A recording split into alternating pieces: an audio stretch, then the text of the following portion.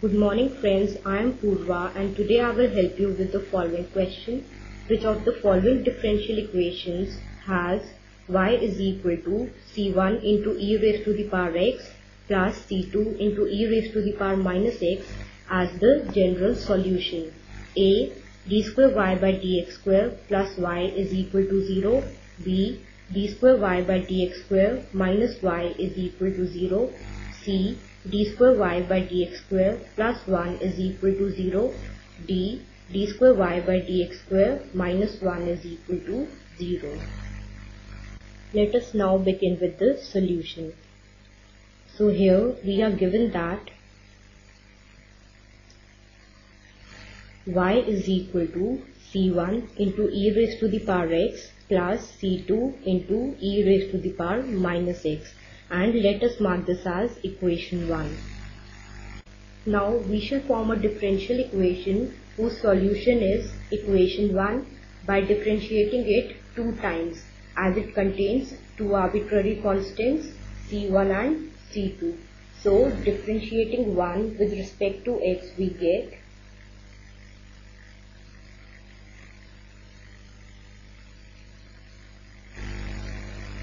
differentiating y gives dy by dx is equal to differentiating c1 into e raised to the power x gives c1 into e raised to the power x and differentiating c2 into e raised to the power minus x gives minus c2 into e raised to the power minus x and let us mark this as equation 2.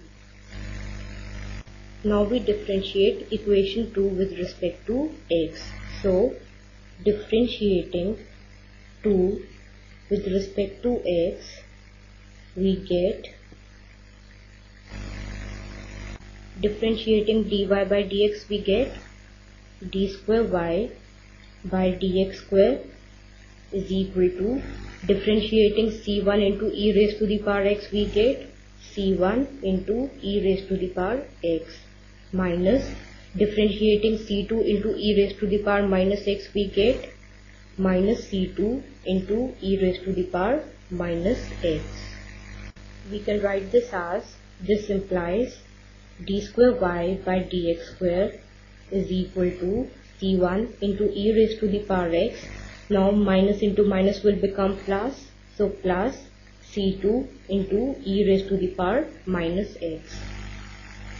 This implies d square y by dx square is equal to now by equation 1 we have y is equal to c1 into e raised to the power x plus c2 into e raised to the power minus x.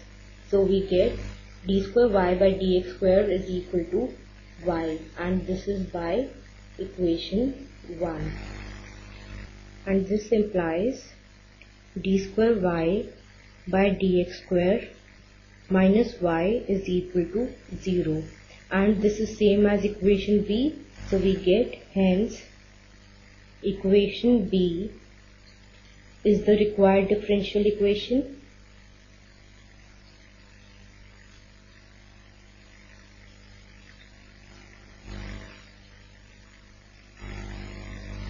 Thus, we write our answer as B. Hope you have understood the solution. Bye and take care.